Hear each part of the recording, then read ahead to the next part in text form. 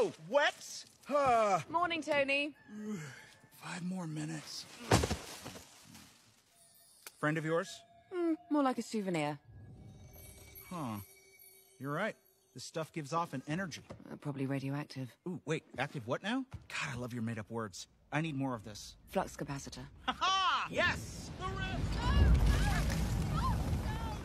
I'm searching for a person, the Forerunner, who would have been the first person transported to this world from the future and the reason reality is collapsing around us. You think this Forerunner would share the same energy as the Rips? Yes, I do.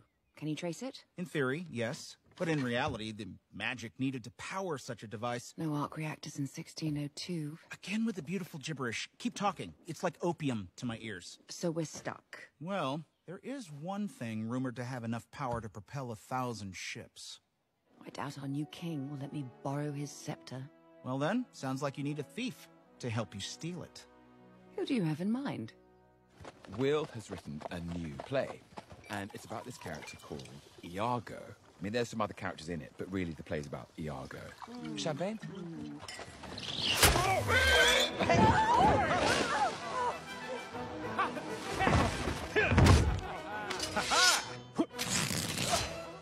Good morrow, Prince Loki. Your carriage looks like it could use some lightening of its load. Roger's Hood. You know, for an outlaw, you're annoyingly chipper. Whoa, what treasure is this? Victoria sponge? Pineapple cakes? Marzipan? Buck, they got marzipan! We're here for the coin, not the cake, Lang. Well, maybe you are. Ooh, there's pie, too. Mind the champagne. It's very expensive.